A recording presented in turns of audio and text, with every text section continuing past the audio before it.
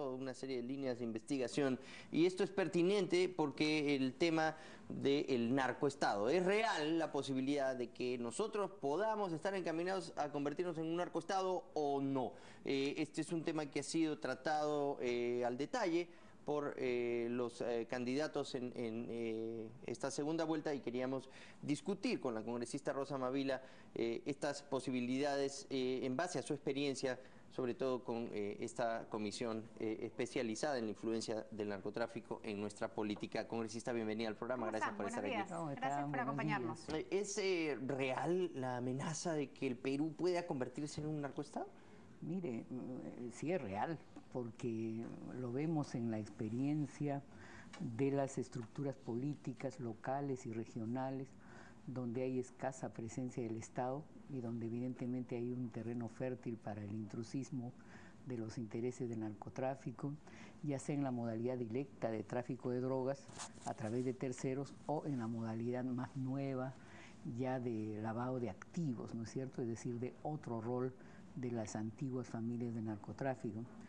Mire, hay algo así, lo que los expertos señalan, porque invitamos a expertos también mexicanos, colombianos, chilenos, hay esta idea de progresividad, ¿no? Se empieza con el control del territorio donde se produce la droga, luego se empieza ya no solo a producir, a, pro- a producir coca, para hablar en simple, sino a procesarla, pasta básica, luego a refinarla. Instalar Eh, los grandes laboratorios, Claro, ¿verdad? después asegurar la ruta del traslado de- del producto. Eh, los colombianos han enseñado, dice, a los narcotraficantes peruanos a producir hasta seis siembras de coca al año y a refinar la pasta básica. Eh, entonces es el proceso de traslado.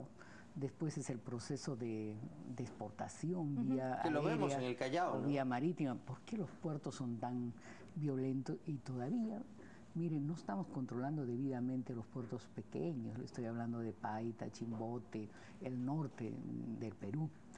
Ese es un escenario, una idea de poco a poco se anda lejos, ¿no? Y entonces cuando hablamos del narcotráfico en la política, no hablamos de la corrupción en el sentido clásico, soborno para callar autoridades, que también hay, ¿no?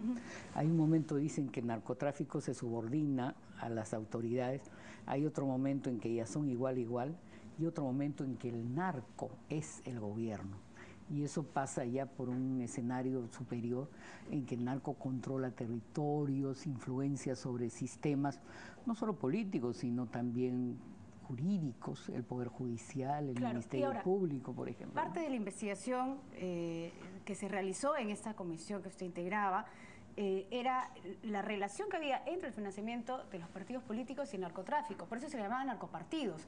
Y el riesgo de que estos partidos luego se conviertan en eh, gobierno, ¿verdad? Y en ese sentido, bueno, hay que pagar favores.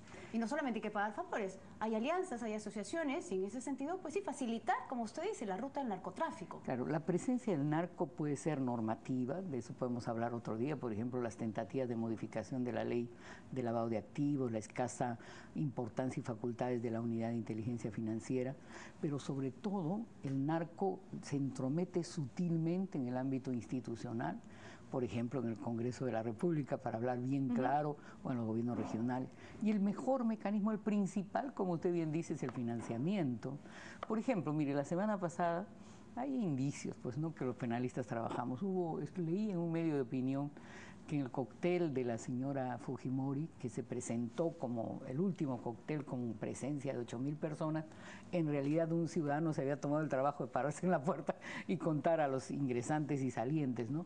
Y no pasaban de 80 personas. Entonces ahí alguien aparentemente estaría sobrevalorando la participación de los aportantes al cóctel y ahí la intención obviamente es lavar dinero. ¿no? ¿Usted investigó el caso de Joaquín Ramírez? Sí, señor, investigué el caso de Joaquín Ramírez, que es un caso eh, emblemático, ¿no? Era el secretario general de, Fuerza Popular hasta hace unas semanas y justamente es uno de los que intentó plantear la nulidad de la investigación fiscal del financiamiento de las anteriores elecciones municipales. Planteó nulidad, que obviamente le declaró improcedente, pero en el fondo lo que pretendía era que pase el 5 de abril para después eh, se pueda conversar sobre financiamiento. Pero en el caso de Joaquín Ramírez hay pues un desbalance patrimonial eh, evidente, ¿no? No solo estamos... ¿Cuánto asciende ese desbalance? Porque él no ha sido muy exacto en brindar esa información y señala que en realidad él sí lo ha podido justificar. Cuando se hablaban, por ejemplo, de 7 millones o alguna cifra similar a esa, él decía no. Eh, no se trata de un monto tan elevado, no se tratan de 19 muebles. ¿Qué es lo que encontró eh, la comisión que usted presidía? Bueno, cuando ya era el mes de septiembre del 2014, cuando ya era secretario general del Partido Fuerza Popular, eh, ya estaba denunciado por el presunto delito del lavado de activos ante el Ministerio Público. O sea, desde esa fecha, la presidenta del partido, estamos hablando del 2014, entonces desde esa fecha la presidenta del partido ya sabía que su secretario general tenía un proceso de lavado de activos. Y si no lo sabía, como a veces lo ha insinuado, francamente, hay un tema de negligencia pues en el desempeño de la función. Ella dice que no le pregunta nada Señor, a sus colaboradores. mire, en un contexto como le estoy describiendo, donde el narco sí está interviniendo en la política. Le voy a decir el caso de su hermano, por ejemplo, el que anoche negó, no dijo que era un tema de, desorden aduanero. El señor Keiko Fujimori fundó Limasa con unos socios... Kenji Fujimori. Kenji, perdón, disculpen, Kenji Fujimori fundó Limasa con socios que ya tenían antecedentes de problemas con el narcotráfico y en la... ¿Quiénes son? ¿Podría precisarlo? Por supuesto, el año 2009 José Vegaso Bedoya, Gianmarco Yanaba Ortiz, José Vegaso Ramos y Kenji Fujimori fundaron Limasa. Fujimori tenía 10.000 acciones. El 27 de junio del 2011, cuando tanto el señor Kenji como quien habla ya éramos congresistas, este, renunció a la empresa y vendió sus acciones a Miguel Ramírez Guamán, pagando este 186 mil soles, ocho veces más que el precio original. ¿Y este Ramírez no es algo de Joaquín Ramírez? Justamente, señor. Miguel Ramírez, el comprador de Kenji, es sobrino de Joaquín Ramírez. Y no solo es eso, sino era militante de Fuerza Popular, lo que intentó ser negado por el Fujimorismo.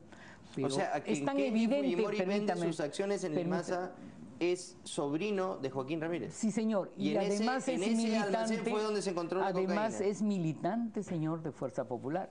Tanto es así que si el señor Gagó hubiera sido separado de su escaño, quien lo hubiera reemplazado, o sea, su accesitario, era este señor Joaquín Ramírez. Miguel Ramírez. Miguel Ramírez. El sobrino. Eh, Miguel Ramírez Guamán. Y en este almacén es donde se encontraron 100 kilos de cocaína pura, señor, en un contenedor que tenía destino México, valorado en 2.500.000 dólares.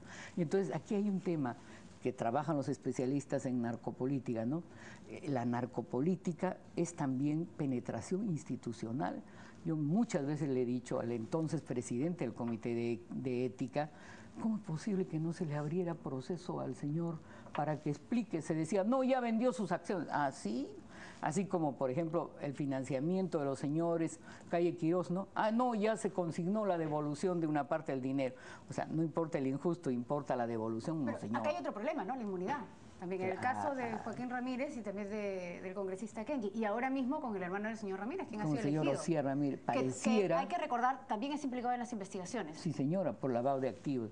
Entonces parece ser que es una estrategia de algunos sectores que tendrían por lo menos que ser investigados por lavado de activos procedente del narcotráfico, hacerse nombrar congresista, pues porque hay una percepción de que la inmunidad implica impunidad, por eso eso debe ser cambiado. Eh, señora Mavila, se la permiten los propios eh, congresistas, porque son los congresistas eh, tienen, quienes, quienes tienen que votar a favor de que se le levante esa inmunidad y hay muchos quienes protegen.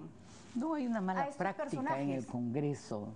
que es, aquella, le voy a decir cuando se supone que los congresistas no podemos investigar a congresistas. Así o sea, con... Pero el Ministerio Público sí.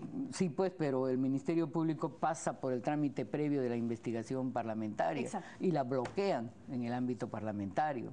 Entonces, no podemos Ahí viene pues la, famosa frase de Torongo no come Torongo. Sí, señor, Torongo debe comer Torongo, señor, porque ya es el colmo. Pues, o sea, no debe haber inmunidad parlamentaria para casos de delito grave. Por eso, la inmunidad sirve obviamente para proteger a los parlamentarios en su trabajo político, para que no puedan ser intimidados o mm. impedidos de ejercer ¿no? Su, su, trabajo que es tan importante como legisladores, pero ya para este tipo de casos, ¿no? Donde tienen que haber investigaciones, sobre todo para ayudar a esclarecer, ¿no? Yo creo que el primer interesado sería, pues, el congresista Kenji Fujimori en este caso, que se someta a la justicia y diga, bueno, aquí yo no tengo nada que esconder y aclaro las cosas.